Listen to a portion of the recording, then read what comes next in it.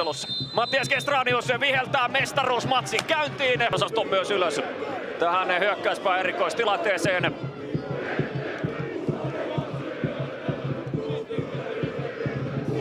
Lingmanin vasemman jalan toimitus taka-aluetta kohti ja jatkokin tulee.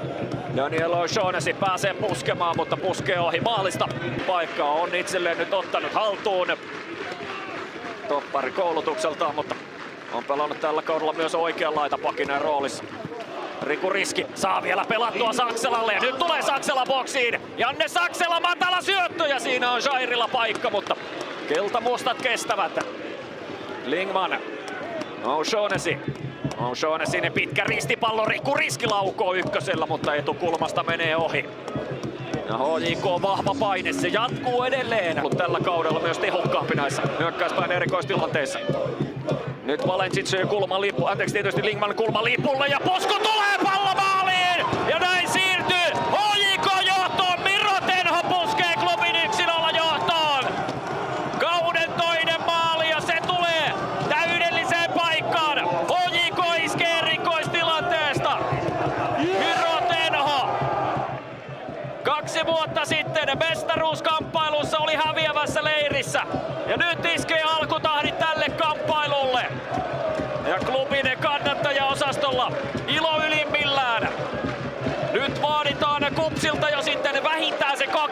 maalia. Ligmanin erikoistilanne ja loistavasti sieltä. Tenho pääsee puskemaan vapaasti taka-alueelta. Kraidel ei voi mitään. Popovitsen miesvartiointi hukkuu. Miro Tenho aivan liian vapaana taka-alueella.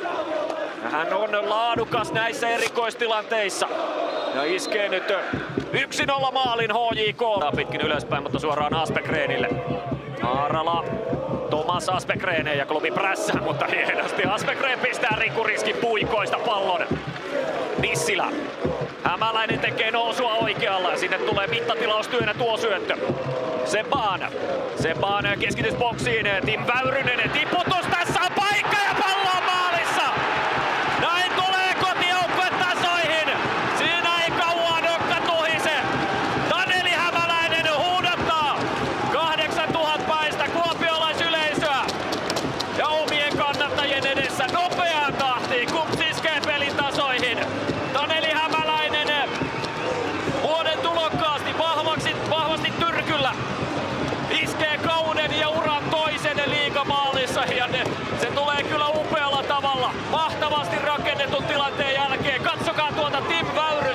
Tiputusta. Ja Taneli Hämäläinen.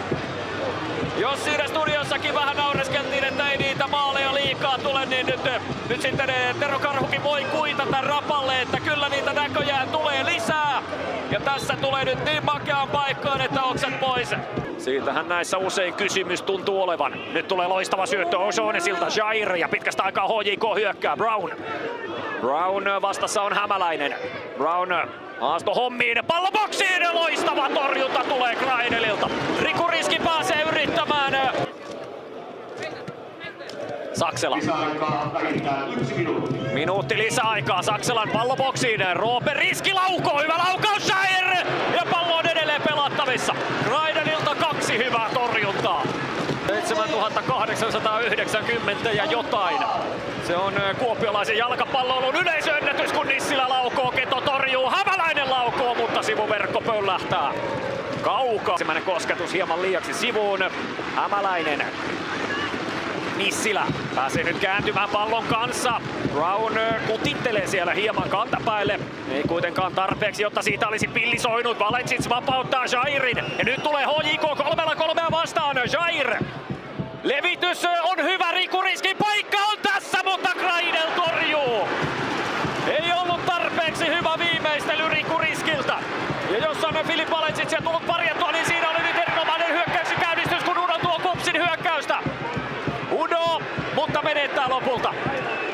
Siinä nyt mennään täysillä päästä päähän ja Jairilla olisi jälleen paikka nopean hyökkäyksen.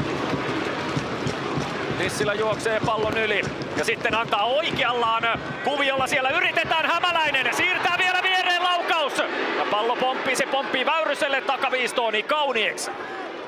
Näitä vaparikuvioita on nähty ympäri Eurooppaa tihenevässä määrin. Seuraava laukaus menee yli maalin Urho Nissilältä. 25 minuuttia ottelua jäljellä. Valensic pyörähtää. Popovic ei saa palloa pois. Filip Valensic liukastelee nyt Teko Nurmella. Edelleen pitää kuitenkin pallon itsellään. Hyvä syöttö Jair. Levitys Brownille. Brown boksin kulmilta. Uudestaan Valensicille. Ja sitten Lingman, ollaan hyvä vasemmalla laukaus. Laukaus lähtee ja katsokaa tuota torjuntaa. Herran pieksut, missä iskussa on Johannes Greidel tässä ottelussa. On virittäytynyt kyllä mestarilliseen iskuun. Hurja torjunta ja lupa tulee Gestraniukselta. Nissilä vauhtiin. Laukaus yli maalin. Metrin menee yli. Ja Nissilä tietää, että tässä oli se hänen paikkansa. Nousta tällaisen oloiseen iskuun tulee. Niin Kauniekseen levittää Heinoselle. Heinonen Nissilä. Nyt pääsee Nissilä laukomaan oikeallaan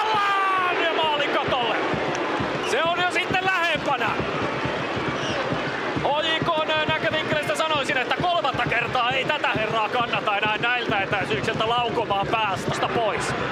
Avaa sitten pitkällä. Roope riskiä tavoitelle. Popovic ykkösenä pääpallossa. Aspegren nosto puoleen kenttään, mutta tulee suoraan Sparville. Tanaka. Tanaka ja sitten eh, Tanaka uudestaan palloon laidalta. Keskitys Roope Riskille. Roope Riski boksissa. Riski! Laukoonko tästä Ojiko mestariksi? Ei ainakaan vielä. Kulmapotkun siitä pystyy Roope Riski hankkimaan HJKlle. Ja aika kuluu. Ja sitten eh, suunnanvaihdos, mutta menettää pallon. Ricardo. Ja kotiyleisö vaatii Ricardoa tuomaan palloa ylöspäin. Heikko syöttö Brown. Karkaa tästä nyt puolittain karkuun laidalta. Brown. Ricardo ehtii puolustamaan. Mitä keksii David Brown? Suunnan vaihdos.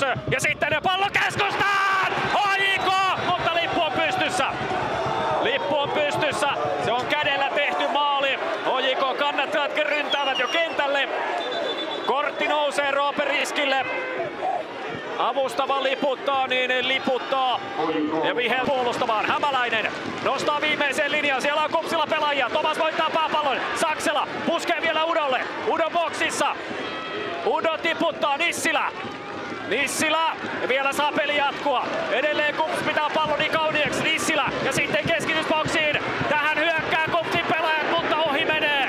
Ohi menee Diego Tomasin pusku.